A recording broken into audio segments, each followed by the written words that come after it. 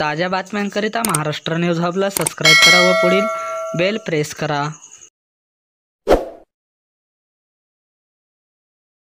नमस्कार मी आहे कुलदीप देशपांडे आणि आपण पाहत आहेत महाराष्ट्र न्यूज हब. आज आपण परशुराम जयंती संपन्न झालेली आहे त्यासंबंधी बातम्या पाहणार आहोत. तत्पूर्वी आपण जर महाराष्ट्र न्यूज हब या चॅनलवर नवीन असाल तर महाराष्ट्र न्यूज हब या चॅनलला सबस्क्राईब करा व पुढील बेल प्रेस करा. तर पाहूया माहिती. सेल्फ डिस्टन्सिंगचा वापर करत अहमदनगर जिल्ह्यातील परशुराम जयंती साजरी. दिनांक पंचवीस एप्रिल रोजी पर अहमदनगर जिल्ह्यात परशुराम सेवा संघाचे राष्ट्रीय अध्यक्ष श्री अनिलजी मुळे व प्रदेशाध्यक्ष श्री विश्वजित देशपांडे यांच्या मार्गदर्शनाखाली अहमदनगर शहरात व चांदा येथे भगवान परशुराम जयंती साजरी करण्यात आली.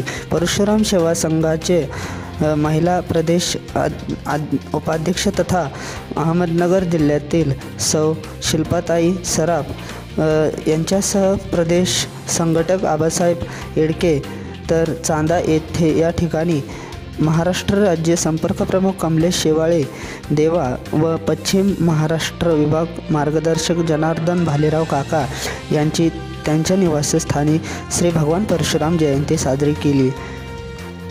यावेळी चांदा येथील परशुराम जयंतीवेळी अखिल भारतीय शेतकरी मराठा महासंघाचे शामराव पवार ग्रामपंचायत सदस्य देवीदास पासरकर श्री गणेश कार्यकारी सेवा सोसायटीचे सचिव नंदू भोपे यांची उपस्थिती होती.